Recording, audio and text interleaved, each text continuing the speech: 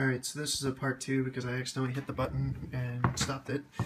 But um, right here, this is a GPU Tweak. Now, GPU Tweak is a program by Asus, and pretty much it's the um, it's like the best way to go about overclocking your graphics card because it reads what graphics card you have and then tells you what the max overclock should be. So this is the gaming clock speed, and like you'll see in a second when I hit power save, boom, drops down to a thousand drops the fan speed down, and it's going to leave the memory clock. Memory clocks should stay the same. Um, it shouldn't really change too much, but it will change. It'll make the changes in Catalyst automatically from this program. So that's the nice part. Um, I usually leave it in gaming just because it will read, like I said, the max clock speed um, for the, the card and what the card will like stop at um, so what I'll do is I'll open up Catalyst for you really quickly just so you can see what it actually says is the max. Um, going into AMD Overdrive, here we go. Alright, so basically the power limit settings it's at plus 10%. Um, the GPU clock setting is at 1070 and the um, high performance memory clock setting is at 1420. So that's pretty much where it wants to be. Um, you know, that's what this program's actually saying my card is capable of. Um, so, I mean, pretty much that's as good as it's going to get. and if you click on this, it'll pull up GPU-Z. Um, GPU-Z, again, is another way of reading your card. And over here, it'll tell you what it's running at, uh, the GPU clock, what it's running at, the default clock, what that's going to be. And then um, pretty much it, it only bumps it up like 20 on each. So, I mean, ultimately, that's that's the R9270 card that's working right now. Um, other thing I do suggest running when you do, uh, if you do get this motherboard that I have, the Crossblade Ranger, definitely run System uh, System Suite 3 and definitely go with the five-way optimization up here. All you do is click it. You'll select the fan, so like it'll automatically select the CPU fan, then you just click where your fans are. So for instance, like my chassis 1 is my back fan, my chassis 2 is my uh, front fan, it's an intake fan, and then my chassis 3 is also a front fan, intake fan. And then definitely do the overclock settings, uh, advanced settings. So like you can do extreme tuning or you can do fast tuning. Either way you get basically the same clock settings. Um, it's really not going to change very much. You, I mean, you can set a certain frequency that you want the CPU to go to, but it's only going to go as high as it can go, and then it's going to just blip out the screen, and once it's done, it's done. Um, you can run a CPU bench or a fan benchmark. Uh, you know, it doesn't necessarily have to do it; it does it anyway so it's really not necessary.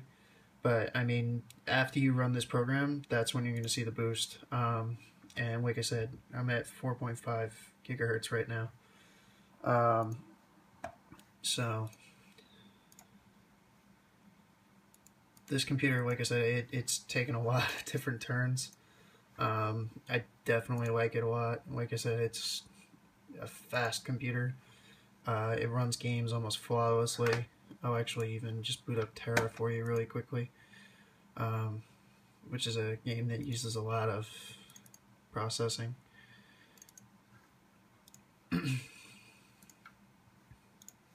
uses the GPU rather pretty well, I should say. um, but I'll boot this up for you really quickly, just so you can see you know how flawless the graphics are. But like I said, this game when I uh, when I first got it and I first started playing it, uh, it was pretty much awful. uh, as much as I did enjoy playing this game, like I said, it, it's it's an open world MMO, and you get to like just basically go do whatever you want. You can just sit and farm. You can you know do whatever. Um, and I'm sure a couple of you guys will make fun of me for playing this game, but um, it's a pretty interesting game to say the least. I enjoy it. Um, but you get like a little CPU hang right there, and that's pretty much it.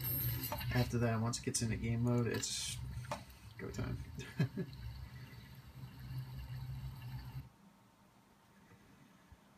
keep switching hands left and right, but um, I'll just walk my character around a little bit just so you can see. If I can get this out of the way. Oop, yeah, there's- So, so just to show you, I mean, I'm just gonna walk them around. I mean, the graphics are pretty much all turned up almost all the way. Um, see if I can turn that or take a look at that for you. Options, video. So you can see right here. Uh, effects level is 5. That's as high as it can go. That's as high as it can go. As high as it can go, as high as it can go. so, I mean, pretty much everything on this game is turned up as high as it can go, except for brightness. so, um, and like I said, I mean, it it's pretty much flawless when I'm playing. There's no like hang or anything like that. It doesn't, you know, glitch out. It's just a all in all smooth game to play, and like I said, it it does, you know, use quite a bit of graphics because when I had the uh, original motherboard, the original CPU, everything running, you know, at 1333, the even the card, even oh, like the CPU overclocked to uh, 4.3 with the 660 and this card that I currently have. Uh, I was only getting like maybe, if I'm lucky, 28 frames per second on this game. Um, I don't know how to check the frames per second on this one now, but I'm sure it's a lot higher than it was. Um, oh, look. Looks like I got a reward. I gotta go to the banker. Um, but anyway, I'm gonna go enjoy my game, upload this video, or upload the two videos for you, part one and part two of this. And uh, I hope you guys enjoyed it. Um, you know, if you have any questions, feel free to ask. Uh, it, it will answer as best as I can. And uh, I hope you guys enjoyed the video.